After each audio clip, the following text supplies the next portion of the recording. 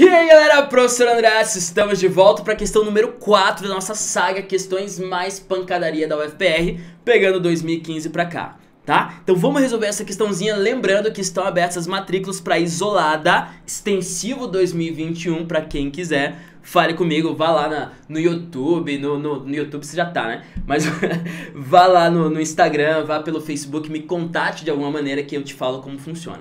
Fechou? Então vamos lá. Essa questão, questão de elétrica, meu, pancadaria demais. Essa questão, eu considero dos últimos 10 anos uma das questões mais difíceis que tem, porque tem uma pegada conceitual que é, que é demais. Que é essa questão aqui, ó. Questão de 2016, e ela fala o seguinte, questão de eletrostática, tá? Verificou-se que numa dada região, o potencial elétrico, V, potencial, potencial, lembre-se, segue o comportamento descrito pelo gráfico Acima, considere a carga elétrica do elétron 1,6 vezes 10 a menos 19. Beleza. Baseado neste gráfico, considere as seguintes afirmativas. 1. Um, a força elétrica que age sobre uma carga Q, 4 microcoulombs, colocada na posição R igual a 8 centímetros, vale quanto? Povo, isso aqui é o seguinte. A parte potencial, você tem que lembrar de alguns detalhes, tá? Potencial é volts. Primeira coisa. Potencial é volts e volts é joules por coulomb. Se você lembrar dessa, dessa unidade, eu vou ficar muito feliz, porque isso aqui pode cair tanto na eletricidade quanto na parte de análise dimensional, tá? Então, volts é joules por coulomb. Inclusive, entender essa unidade é, te ajuda a entender circuitos, porque volts é quantidade de energia em função da quantidade de carga. Quantidade de energia por coulomb, é joules por coulomb. Beleza, primeira coisa é isso aí. Segunda coisa, eu posso calcular potencial de algumas maneiras diferentes. Vou colocar as equações aqui. K sobre, vezes Q sobre D. Essa é uma maneira. Lembre-se que potencial, já que é joules, é energia, é, não é uma grandeza vetorial, ela é escalar. Pode ter sinal, então esse Q não tem módulo. Tá? O Qzinho ali é sem módulo mesmo. E o D não é elevado ao quadrado. Beleza. Eu posso calcular também uma diferença de potencial U, no caso, e quando é um céu, um campo elétrico uniforme, ó, é de... Uh, Lembre-se dessa equação que é mega poderosa também. É de U. Vá munido dessa equação para tua prova, tá? É de U. E é o campo elétrico, D, uma distância, e o U, uma diferença de potencial, beleza? Só que, aí, pensando nessa equação é de U, e juntando com essa aqui, que também é mega poderosa, o FEC, a gente consegue ver que essa número 1, um, cara, ela é, ela é estranha, ela é enganosa, ela é uma pegadinha. Porque, ó, pelo gráfico, o potencial aqui, ó, ele aumenta, beleza? Aqui ele, o potencial permanece constante, e o potencial permanece constante e aqui ele diminui. Beleza. Daí ele pergunta, a força elétrica que age sobre uma carga, se eu colocar essa carga naquele potencial constante ali, vale tanto. Povo, pense comigo. Se o potencial é constante, não tem diferença de potencial naquele ponto ali, certo? Potencial é constante, não tem diferença de potencial. Se não tem diferença de potencial, não tem campo elétrico. O campo elétrico vale zero. E se o campo elétrico vale zero, a força elétrica vale zero. Então essa número 1 um aqui, ela tá falsa, porque se você coloca uma, uma carga numa região que o potencial é constante, não tem campo ali.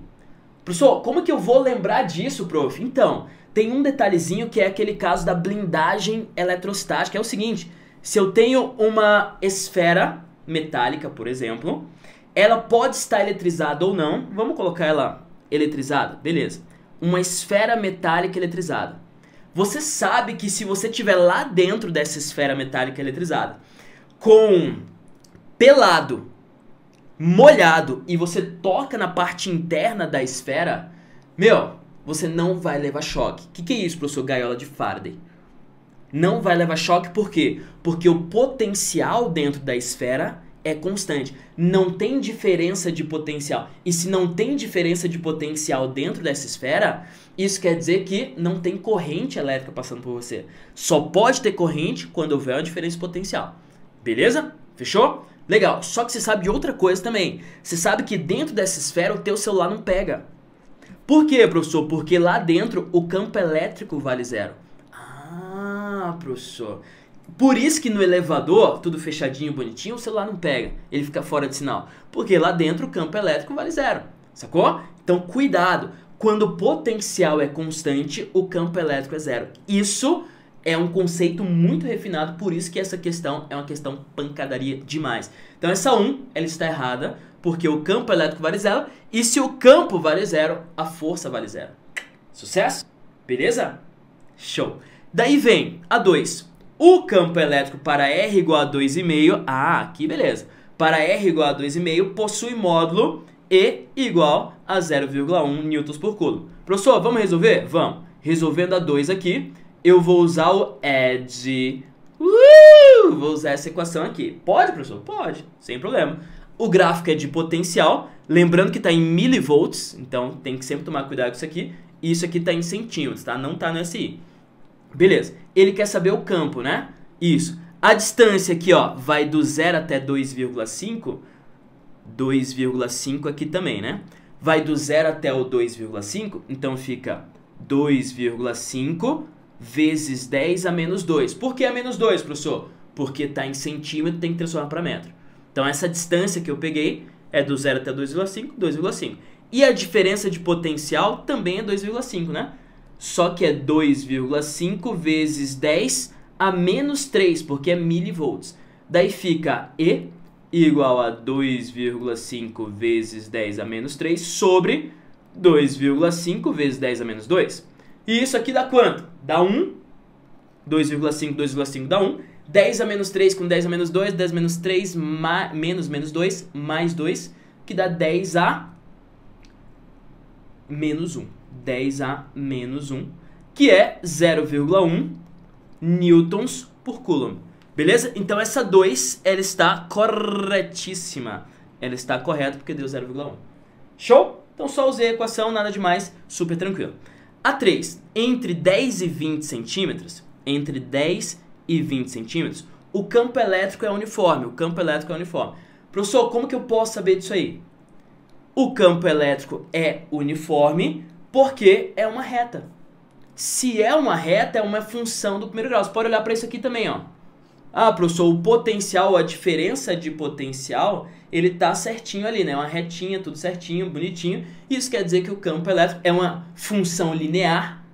Isso quer dizer que o campo elétrico é uniforme. Lembre-se sempre de uma frasezinha que é o seguinte, anota ela aí em algum lugar, por favor. Lembre-se sempre dessa frasezinha que fala o seguinte, olha só. O potencial sempre diminui no sentido da seta. O potencial sempre diminui no sentido da seta. E como o potencial está diminuindo numa função linear, quer dizer que a seta ela é constante, a seta é de um campo elétrico uniforme. Beleza? Então essa 3 ela está correta por causa disso. Fechou? Legal. E a 4, ao se transferir um elétron de 10 para 20, a energia potência elétrica. Povo, energia potência elétrica. Lembre-se dessa, dessa unidade aqui, ó. Volts, que é potencial, ou diferença potencial, tanto faz, é joules por coulomb. E joules é energia, né? Isso quer dizer que energia, ó, vou passar esse cara multiplicando. Energia é o potencial, que é V, a gente considera como sendo essa letra V, vezes a carga. Potencial vezes a carga dá a energia elétrica, a potencial elétrica ali daquele sistema. Beleza? Então, tá aí. Agora é só jogar o valor. Então, ó, a energia, lembrando, esse E aqui, energia, vou colocar energia potencial elétrica, ó, potencial elétrica, para não confundir com campo elétrico. São, é a mesma letra, mas são duas coisas diferentes. O potencial, primeiro, ele quer de 10 para 20, né? Isso, professor.